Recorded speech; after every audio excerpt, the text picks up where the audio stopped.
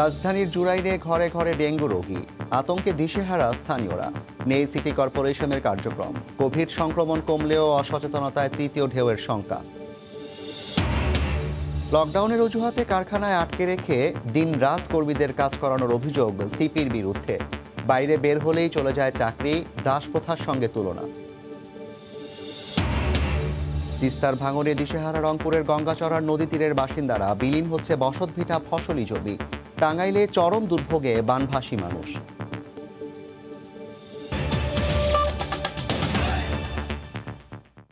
সময় সংবাদের সঙ্গে আছি আমি জাফর সাদিক। উদ্ধার তৎপরতার সবশেষ খবর জানাতে এই মুহূর্তে ব্রাহ্মণবাড়িয়ার বিজয়নগরে আছেন সহকর্মী উজ্জ্বল চক্রবর্তী। সরাসরি যাচ্ছি তার কাছে। উজ্জ্বল জাফর, এই মুহূর্তে আমি অবস্থান করছি ব্রাহ্মণবাড়িয়ার বিজয়নগর উপজেলা লস্কা বিলে। যে বিলে গতকাল সন্ধ্যা ছয়টার দিকে একটি যাত্রীবাহী নৌকা উল্টে গিয়ে শতাধিক যাত্রী নিয়ে ডুবে যায় এই বিলেই। এরপরে কিন্তু এখানে একুশ জন আজকে একটি শিশু সহ বাইশ জনের লাশ উদ্ধার করা হয়। এই বাইশ জনের লাশ কিন্তু স্বজনদের কাছে হস্তান্তর করা হয়। দুর্ঘটনার খবর পেয়ে দুর্ঘটনার প্রায় পনেরো ঘণ্টা পর নারায়ণগঞ্জ থেকে একটি বিএডব্লিউ টি এর একটি উদ্ধারকারী দল এখানে উদ্ধার কাজে অংশগ্রহণ করে। তেমনিভাবে কিশোরগঞ্জ থেকে ফায়ার সার্ভিসের আরেকটি ডুবুরি দল এখানে উদ্ধার কাজে অংশগ্রহণ করে। তারা একটি শিশুকে আজকে এক ঘণ্টা আগে এখন থেকে উদ্ধার করে এখন পর্যন্ত উদ্ধার কার্যক্রম চলছে যদিও নৌকাটি এখনও উদ্ধার করার কোনো এখানে কার্যক্রম এখনও শুরু হয়নি। উৎসুক জনতা বা নিহতের স্বজনরা বলছে যে দুর্ঘটনা কবলিত নৌকাটি যেন দ্রুত উদ্ধার করা হয়। এই নৌকাটি উদ্ধার করার পরেই বোঝা যাবে আসলে নৌকার নিচে কেউ আটকে পড়ে আছে কিনা। এখানে উৎসুক জনতা কিন্তু সেই সকাল থেকে এখন পর্যন্ত কিন্তু যতই বেলা বাড়ছে, ততই কিন্তু উৎসুক জনতার এখানে ভিড় বাড়ছে। তবে এখন পর্যন্ত যে উদ্ধার কাজ, সেটা কিন্তু থেমে থেমে এখানে চলছে। আমি কিছুক্ষণ আগে এখানে যে জেলা প্রশাসনের অতিরিক্ত জেলা ম্যাজিস্ট্রেট রুহুল আমিন তার সাথে কথা বলেছিলাম এবং তিনি বলছেন যে উদ্ধার কাজ যেহেতু একটি দীর্ঘমেয়াদী ব্যাপার, সেই জন্য তারা থেমে থেমে কার্যক্রম পরিচালনা করছেন। নৌযানটি কীভাবে উদ্ধার করা যায়, সেই পরিকল্পনা তারা গ্রহণ করছেন। শীঘ্রই তারা নৌকাটি উদ্ধার করতে পারবেন বলে আমাদেরকে নিশ্চিত করেছেন। আপনাকে জানিয়ে রেখি, এখন পর্যন্ত যে বাইশ জন মারা গেছে, তার মধ্যে সতেরো জন নারী এবং শিশু রয়েছে। তাদের মধ্যে ইতিমধ্যে কিন্তু পরিবারের কাছে হস্তান্তর করেছে তাদের দাফন কাফনের জন্য জেলা প্রশাসনের পক্ষ থেকে বিশ হাজার টাকা করে প্রত্যেক পরিবারকে দেওয়া হয়েছে। পাশাপাশি যারা আহত হয়েছে তাদেরকেও জেলা প্রশাসনের পক্ষ থেকে সাহায্য সহযোগিতা করা হবে বলে আমাদেরকে জানিয়েছে। গতকালকে ব্রাহ্মণবাড়িয়া বিজয়নগর উপজেলার চপ্পকনগর বাজার থেকে বিকেল সাড়ে পাঁচটার দিকে শতাধিক যাত্রী নিয়ে সেই ট্রলারটি কিন্তু ব্রাহ্মণবাড়িয়া শহরের আনন্দবাজার ঘাটে আসছিল। এর পরে কিন্তু বিপরীত দিক থেকে আসা একটি বালুবাহী বালক হেডের সাথে ধাক্কা লেগে যাত্রীবাহী ট্রলারটি উল্টে যায়। এরপরে কিন্তু দুর্ঘটনা ঘটে। যারা নৌকার উপরে অবস্থান করছিল, প্রায় অর্ধশতাধিক যাত্রী তারা কিন্তু তীরে সাঁতরে উঠতে সক্ষম হয়। ভেতরে যারা অর্থাৎ নৌকার ছইয়ার নিচে যারা ছিল, তারা কিন্তু পানিতে ডুবে নিহত হন। তাদের মধ্যে নারী শিশু রয়েছেন সতেরো জন। বাকি যারা আহত হয়েছেন, তাদের মধ্যেও নারী শিশু রয়েছেন।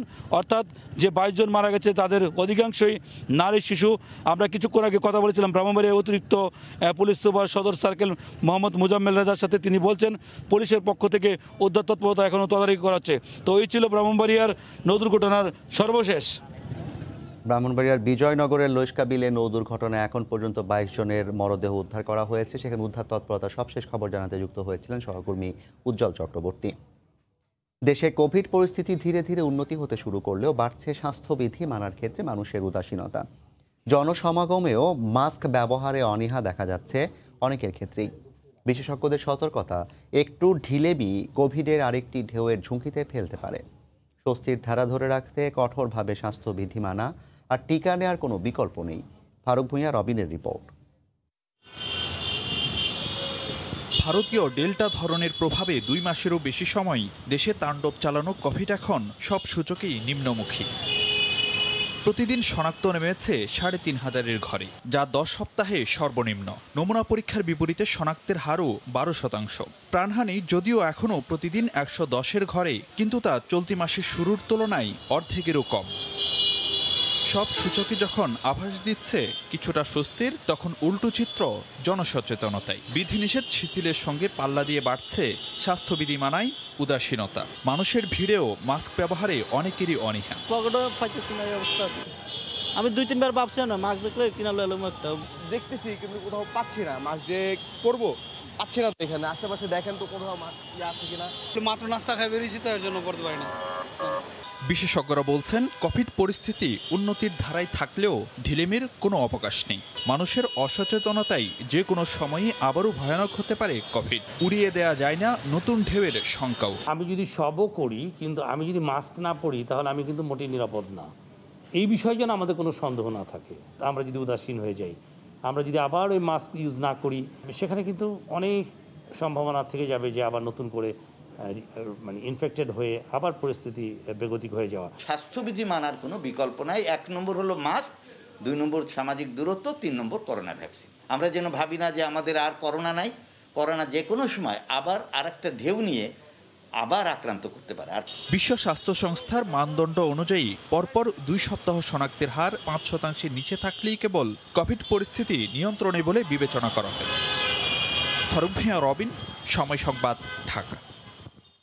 চট্টগ্রাম ইপিজেডের দেড়শো কারখানার প্রায় দুই লাখ শ্রমিককে দেওয়া হচ্ছে করোনা টিকা। এই বিষয়ে বিস্তারিত জানাতে এই মুহূর্তে সেখানে আছেন সহকর্মী কমল দে। সরাসরি যাচ্ছে তার কাছে। কমল। আহ, ধন্যবাদ জাফর। করোনা ভ্যাকসিন প্রয়োগের ক্ষেত্রে বাংলাদেশ আরেকটা অনন্য দৃষ্টান্ত স্থাপন করল। সেটি হলো চট্টগ্রাম ইপিজেডের যে একশো একান্নটি কারখানা রয়েছে সেখানে যে কর্মরত দুই লাখ শ্রমিক তাদেরকে কিন্তু আজকে থেকে টিকার আওতায় আনা হচ্ছে। সকালে চট্টগ্রামে যে ইপিজেডের যেটি মেডিকেল সেন্টার রয়েছে, সেখান থেকে টিকাদান কর্মসূচি শুরু হয়।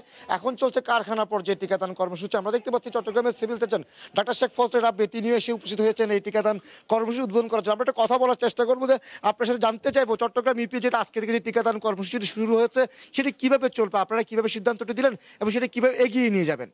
ধন্যবাদ। আমরা চট্টগ্রাম স্বাস্থ্য বিভাগ, এখানে আমাদের ইপিজেডের কর্মকর্তাবৃন্দ এবং সিটি কর্পোরেশনের আমাদের যারা স্বাস্থ্য কর্মকর্তা আছে, সমন্বিতভাবে যে শ্রমিকদের জন্য যে অগ্রাধিকার ভিত্তিতে সরকারি সিদ্ধান্ত অনুযায়ী টিকা দেওয়ার ব্যবস্থা করার জন্য আমরা সেই উদ্যোগে আজকে একটা চট্টগ্রামের জেলার জন্য বা চট্টগ্রাম বিভাগের জন্য একটা নতুন দিগন্ত উন্মোচিত হলো। আমরা আজকে এই ইপিজেড এলাকায় প্রায় দুই লক্ষ বিশ হাজার শ্রমিক আছে। তাদেরকে আমরা রেজিস্ট্রেশনের আওতায় এনে ধারাবাহিকভাবে আমরা এই টিকাদান কার্যক্রম আমরা সম্পন্ন করব এবং আমরা মনে করি এর মাধ্যমে আমরা একটা যারা আমাদের বিদেশি যে আমাদের যে অর্থনীতির যে শাখা সচল রেখেছেন, তাদের জন্য একটা দৃষ্টান্তমূলক ব্যবস্থা নিতে পেরেছি বলে অবশ্যই আমরা সরকারের পক্ষ থেকে কৃতজ্ঞতা জানাচ্ছি।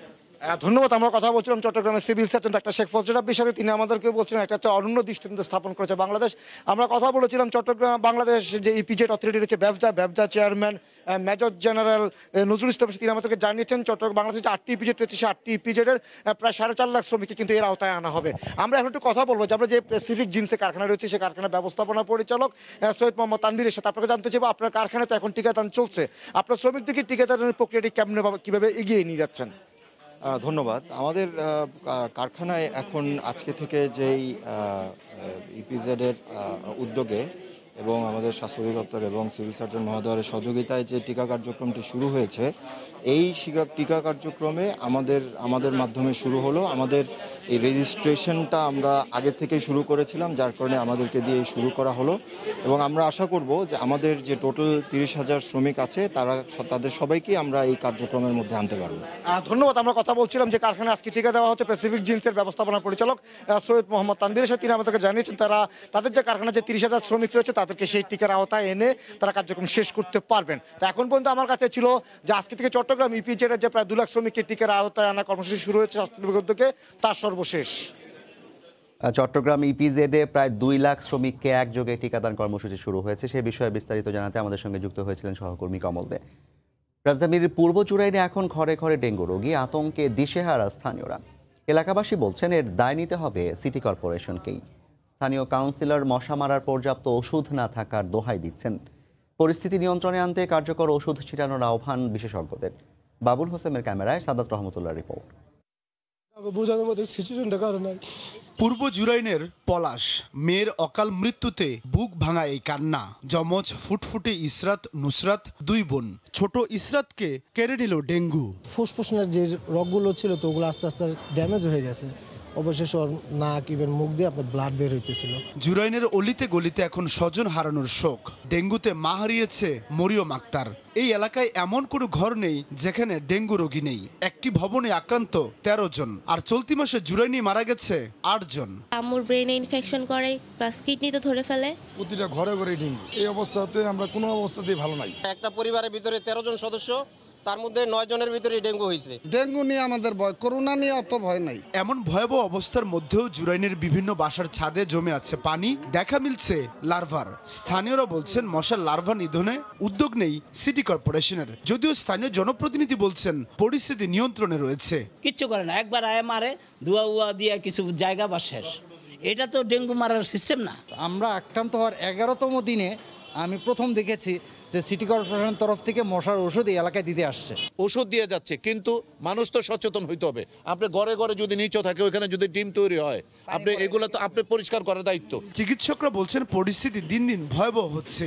ডেঙ্গুতে মধ্যবয়স্কদের পাশাপাশি মৃত্যু ঝুঁকি বাড়ছে গর্ভবতী নারীদের। ডেঙ্গু যেহেতু একটি রক্তবাহিত রোগ তাদের সন্তানরাও কিন্তু গর্ভকালীন অবস্থায় খারাপ হয়ে যাচ্ছে। অনেক ক্ষেত্রে দেখা যাচ্ছে যে মৃত সন্তান প্রসব করা। জুরাইন ছাড়াও রাজধানীর যাত্রাবাড়ি মিরপুর উত্তরায় ডেঙ্গুর হটস্পট বলছে সিটি কর্পোরেশন। ডেঙ্গু নিয়ন্ত্রণে এলাকা ভিত্তিক কাজ করার পরামর্শ বিশেষজ্ঞদের। এই এলাকাটি যেহেতু এখন হটস্পট হিসেবে রূপান্তরিত হয়েছে এই হটস্পটে অনন্য ওয়ার্ড থেকে দরকার হলে স্প্রে মেশিন নিয়ে একযোগে ফগিং এবং স্প্রে করে দেওয়া প্রয়োজন। সবশেষ দু হাজার উনিশ সালে ডেঙ্গুতে প্রায় একশো পঞ্চাশ জনের মৃত্যু হয়েছিল। করোনা নয় পূর্ব জুরানের বাসিন্দাদের মৃত্যু আতঙ্ক কুড়ে খাচ্ছে ডেঙ্গুর ভয়াবহতা। মাত্র দশ গজ ব্যবধানে এই গলিতেই দুই জনের প্রাণ কেড়ে নিয়েছে ডেঙ্গুতে। স্থানীয়রা বলছেন, নিয়ন্ত্রণহীন এই পরিস্থিতি নিয়ন্ত্রণে আনতে সিটি কর্পোরেশনের উদ্যোগের কোনো বিকল্প নেই। সাদাত রহমতুল্লাহ, সময় সংবাদ, পূর্ব জুরাইন, ঢাকা। গত বছরের মার্চ থেকেই চলছে লকডাউন মানে বাইরে যাওয়া বন্ধ, থাকতে হবে কারখানার ভেতরে। বলছি, সিপি বাংলাদেশ কোম্পানি লিমিটেড নামের নাম করা একটি প্রতিষ্ঠানের কথা। নাম পরিচয় গোপন রাখার শর্তে বহু কর্মী জানিয়েছেন, মুরগির খাবার তৈরির এই প্রতিষ্ঠানে কার্যত দেড় বছর ধরে অবরুদ্ধ আছেন প্রায় একশো কর্মী। সরকারিভাবে সারা দেশে লকডাউন তুলে নিয়ে স্বাস্থ্যবিধি মেনে সব সচল করা হলেও এই প্রতিষ্ঠানটি যেন উল্টো পথে চলছে। আতিকুর রহমান, তমালের রিপোর্ট। মুখরোচক খাবার হিসেবে চাহিদা আছে সিপির আর তাই রাজধানীতে বটেই দেশের আনাচে কানাচেও দেখা মেলে এই দোকানের কিন্তু এর পেছনের গল্পটা অমানবিক। সারা দেশে সিপি বাংলাদেশ কোম্পানিটির ফিড মিল আছে পাঁচটি। এর মধ্যে মূল মিল বা হেড অফিসটি গাজীপুরের চন্দ্রায়। অভিযোগ আছে, এই কারখানার অন্তত একশো কর্মীকে দেড় বছর ধরে কারখানার ভেতরে থেকে কাজ করতে বাধ্য করা হচ্ছে। শুধু তাই নয়, সারা দেশে যখন লকডাউন তুলে নেওয়া হয়েছে, তখন এখানে এখনও করোনার দোহাই দিয়ে এই নিয়ম জারি আছে। কর্মীরা চাকরি হারানোর ভয়ে ক্যামেরায় কথা বলতে রাজি নন। অন্তত বিশ জন কর্মীর সঙ্গে টেলিফোনে কথা হয় সময় সংবাদের। করোনার দোহাই দিয়েছে আমাদেরকে নামাজ পড়তে দিতে, বাইরে যেতে দিবে না। মানে পুরো থেকে বাইরে যেতে দিবে না। বসে যদি জানেন যদি কেউ বের হয়েছে তাহলে তার চাকরির সমস্যা হইতে পারে কিংবা বিভিন্ন রকম শাস্তি দেয়। পঁচিশে মার্চ গেল না করোনা? এর আগের বছর। সেই থেকে আমরা কোম্পানির ভিতরে এমনকি অন্তঃসত্ত্বা স্ত্রীর ফোন পেয়ে বাসায় গিয়ে স্ত্রীকে নিয়ে হাসপাতালে যাবার অনুমতিও মেলে চার ঘণ্টা পর। ততক্ষণে বাচ্চা ও চাকরি কোনোটাই বাঁচাতে পারেনি ভুক্তভোগী জুয়েল। তাল বাহানা করে আসছে, চার ঘণ্টার আটকায় রাখছে। তারপরে আমি যখন ক্লিনিকে নিয়ে গেছি ওখানে নিয়ে যাওয়ার পর ওখানে অ্যাবনর্মাল অপারেশন হয়ে গেছে। এই নিয়ে তারপরে মনে করেন যে অফিসে কথা কাটাকাটি, আমি অনুমতি ছাড়া বাইরে গেছি, এই কারণে আর কি চাকরিতে চলে গেছে। অভিযোগগুলো নিয়ে আমরা সিপির ভেতরে ঢুকতে চাই। এখন তো লকডাউন নাই। কিন্তু আমাদের এখানে নিয়ম কানুন একটু কঠোর। অবশ্য তার আগেই মিলটির বাইরের দোকানদাররা অনেক কিছুই বললেন। এর ভিতরে অনেকে লোকজন থাকার বন্দোবস্ত করছে? ভিতরে হ্যাঁ ভিতরে আছে মানে তারা নাকি মানে বেরোতে পারে না করোনার কারণে নাকি? অনেক দিনই তো হইতেছে। আগের চাইতে বিক্রি এখন করোনার কারণে একটু খারাপ যাইতেছে কারণ মানে ভিতরের লোকজন বাহির হইতে দেয় না। সেসব অভিযোগের বিষয়ে কথা বলতে রাজি নন কর্তা ব্যক্তিরা। তবে সহকারী ফ্যাক্টরি ম্যানেজারও এইচআর এর কর্মকর্তারা অভিযোগগুলো অস্বীকার করেন। সেটিও তারা ক্যামেরায় বলতে চান না। যাদের কাজগুলো বাসায় বসে করতে পারে তার তো ফ্যাক্টরিতে আসার দরকার তারা বাসায় বসে করছে। এখন মনে করেন আমি যেমন প্রোডাকশন ডিপার্টমেন্টের আমি তো আর বাসায় বসে প্রোডাকশন চালাতে পারব না। কাস্টমার ডিমান্ড ফিল করবে। তার মানে আমাকে ডেফিনেটলি থাকতে হবে। চাকরি গেছে কোনো কিছু না এই ধরনের কোনো ঘটনা ঘটে আর ছুটি চাইলে ছুটি দেওয়া হচ্ছে। আইনজীবীদের মতে এটা শ্রম আইন ও মানবাধিকারের সুস্পষ্ট লঙ্ঘন। একটা শ্রমিক আট ঘণ্টা কাজ করে কোথায় থাকবে না থাকতে এটা তার ব্যাপার। তাকে কনফাইন করে রাখা হয়েছে। আমি মনে করি যার যেসব শ্রমিকরা এই ধরনের অবস্থার শিকার শ্রম আদালতে মামলা করতে পারে। তারা আরও বলছেন সিপিতে যা চলছে তাকে কেবল দাস প্রথার সঙ্গে তুলনা করা চলে। আতিকুর রহমান তামাল সময় সংবাদ গাজীপুর। বিএনপির প্রতিষ্ঠাতা ও প্রয়াত প্রেসিডেন্ট জিয়াউর রহমানের জানা যায়, হাজার হাজার মানুষের অংশগ্রহণই প্রমাণ করে চন্দ্রিমা উদ্যানের সমাধিতে তার লাশ রয়েছে। আওয়ামী লীগ নিয়ে অপরাজনীতি করছে। আর রাজধানীর গুলশানে সংবাদ সম্মেলনে কথা বলেন বিএনপি মহাসচিব মির্জা ফখরুল ইসলাম আলমগীর। এটা আমার কাছে মনে হয়েছে যে একটা রুচিহীন কদর্য একটা মিথ্যাচার ছাড়া আর কিছু নয়। দাফন হয়েছে, আমার আপনার লক্ষ লক্ষ লোক সেই জানাজায় শরিক হয়েছে, তৎকালীন সেনা আপনার অধিনায়ক এরশাদ সাহেব, তিনি নিজে তার বডি ক্যারি করেছেন। It is a open clear একেবারে ক্রিস্টাল ক্লিয়ার লাইক মানে এর চেয়ে বড় সত্য আর কিছু হতে পারে না। সেইখানে এই ধরনের ইস্যুগুলোকে একভাবে তুলে নিয়ে আসা। তারা যে কতটা রাজনীতি শূন্য হয়ে গেছেন, দেউলিয়া হয়ে গেছেন রাজনীতিতে, তার এটাই তার প্রমাণ।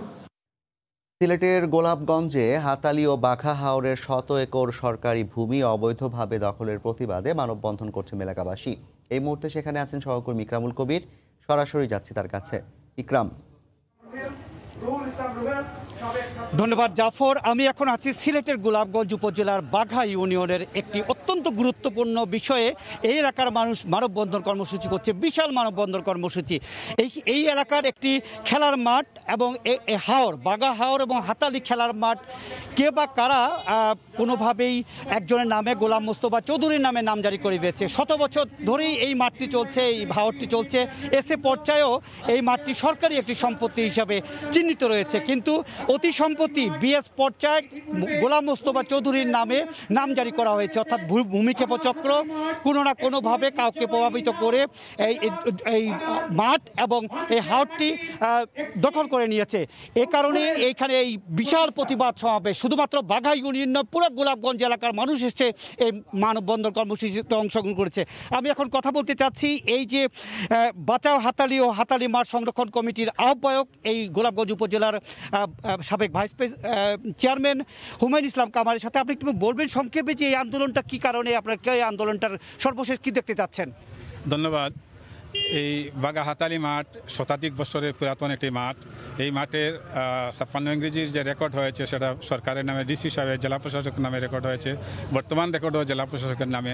কিন্তু ইদানিকালে আমরা দেখতে পাই একজন ব্যক্তির নামে, ব্যক্তি তার বাবার নামে খেলার মাঠ হিসাবে লিখেছে, গুলাম মোস্তফা খেলার চৌধুরী খেলার মাঠ। আমরা এটার প্রতিবাদ জানাচ্ছি। আমরা চাই এই মাঠটি যেভাবে জেলা প্রশাসকের নামে ছিল, সেইভাবেই হোক, এটাই আমাদের মূল দাবি। জাফর, আপনি শুনছিলেন, এই মাঠটি কিন্তু সরকারি একটি সম্পত্তি এবং এই হাওর, বাগা হাওর সম্পূর্ণ কিন্তু সরকারি সম্পত্তি। তিনশো একর জমির একটি সম্পত্তি এবং আট একর জমির একটি মাঠ। এই সব মাঠটি ব্যক্তি নামে এটি করা হয়ে গেছে। বিএস পর্যায়ে একজন ব্যক্তি নামে, ব্যক্তি গোলাম মোস্তফা চৌধুরীর নামে রেকর্ডকৃত করা হয়ে গেছে। তারই প্রতিবাদে আজকে এই বিশাল কর্মসূচি দীর্ঘদিন থেকে কর্মসূচি চলছে এবং আজকে এই চূড়ান্ত পর্যায়ে বিভিন্ন জায়গা থেকে এসে কর্মসূচিতে অংশগ্রহণ করছে। জাফর, এই ছিল গোলাপগঞ্জ উপজেলার বাঘা ইউনিয়ন থেকে যে মানববন্ধন কর্মসূচি চলছে সরকারি সম্পত্তি রক্ষায়, তার সর্বশেষ খবর। সিলেটের গোলাপগঞ্জে হাতালি মাঠ ও বাঘা হাওরের শত একর সরকারি ভূমি অবৈধভাবে দখলের প্রতিবাদে মানববন্ধনের সবশেষ খবর জানাতে আমাদের সঙ্গে যুক্ত হয়েছিলেন সহকর্মী ইকরামুল কবির। উজানের ঢল ও ভারী বর্ষণে যমুনা নদীসহ টাঙ্গাইলের অন্যান্য নদীর পানি বাড়তে থাকায় নদী তীরের নির্মাঞ্চল প্লাবিত হয়েছে। এতে বিপাকে পড়েছেন বহু মানুষ। বন্যার পানিতে সদর উপজেলা কালিহাতি, ভুয়াপুর, নাগরপুর উপজেলার অর্ধ শতাধিক গ্রাম প্লাবিত হয়েছে। ভেসে গেছে পুকুরের মাছ, বীজতলা, সবজি ক্ষেত সহ বিস্তীর্ণ এলাকার ফসলি জমি। বাড়িঘরে পানি ওঠায় অনেকে মানবেতর জীবনযাপন করছেন। গবাদি পশু নিয়ে বিপাকে পড়েছেন ভুক্তভোগী মানুষ। তাদের অভিযোগ এখন পর্যন্ত সরকারি, বেসরকারি কোনো ত্রাণ সহায়তা পাননি তারা। খেলার খবর, তিন জাতি টুর্নামেন্টে খেলতে কিরগিজস্তান গেল বাংলাদেশ জাতীয় ফুটবল দল। এই ম্যাচগুলোতে ভালো করতে পারলে তার ইতিবাচক প্রভাব পড়বে সাফ চ্যাম্পিয়নশিপে। দেশ ছাড়ার আগে এমন মন্তব্য করেছেন ফুটবলাররা।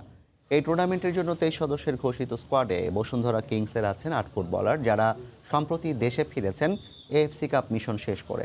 তাই দুশ্চিন্তা আছে টানা ম্যাচের ধকল নিয়ে। তবুও সাফের আগে এই ট্রাই নেশনে ভালো করার প্রত্যাশা কোচ জেমি সিডন্স জেমিডের কিরগিজস্তানে গিয়ে বাংলাদেশের প্রথম ম্যাচ ফিফার তালিকায় একশো দুই নম্বরে থাকা ফিলিস্তিনের বিপক্ষে পাঁচ সেপ্টেম্বর।